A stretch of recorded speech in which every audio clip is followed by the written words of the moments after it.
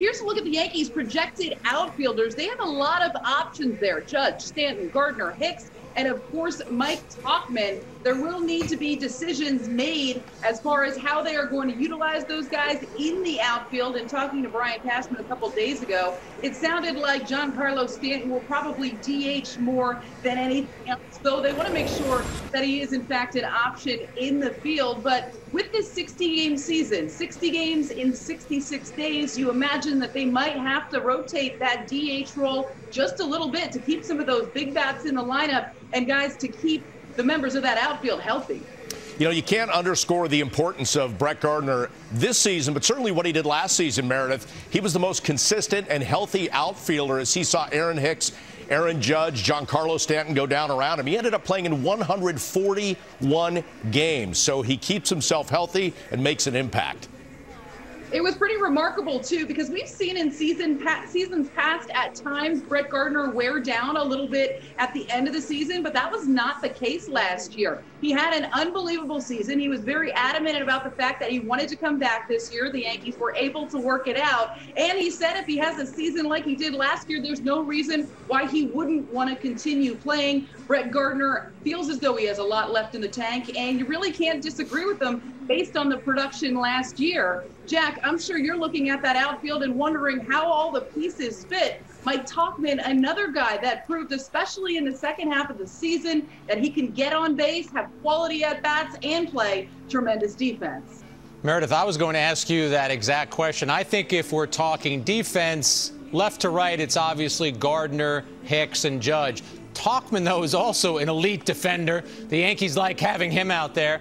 And one player that we haven't even discussed, and the Yankees have talked about him getting some corner outfield reps, Miguel Andujar. But I think you may have said it best with 60 games in 66 days, pretty much expect to see a lot of outfielders getting a lot of playing time. I think they have to because to have a guy that's been off for a couple of weeks, get ready quickly in three weeks, and then expect him to be out there every day, I think would be tough. I think they're going to have to ease some of these players into it to make sure they don't get injured. And Tauchman is a guy that certainly made his name known last season. And Andujar, you wonder if that's still going to be part of the plan. Yes, they worked him out there during spring training, but things have changed because of this shortened season. But another guy, Jack, that they want to get the bat in the lineup. So you wonder what is the best way to do it? Is it first base? Is it DHing occasionally? Or is it at a corner outfield spot? And Andujar is a guy that had been used to playing every day. We also don't know how he's going to react if he's not in the lineup every day. Will he take a dip in production offensively because there isn't the consistent plate appearances? We don't know any of that yet, but hey, it's a good problem to have for the Yankees. They've stressed that they have depth, and in the outfield, it is certainly evident that that's the case. And Meredith, final question on the outfield. In talking to Aaron Hicks, did you get a sense that he is ready to go, having had that Tommy John surgery in the offseason?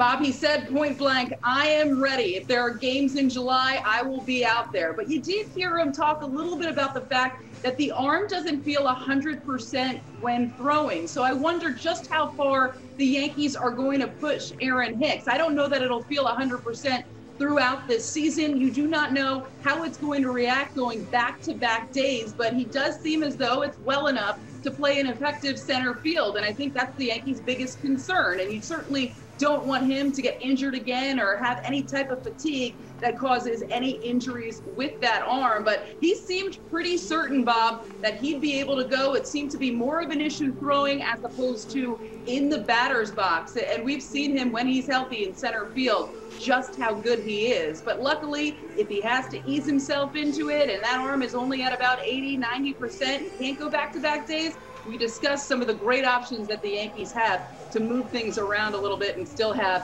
a solid outfield.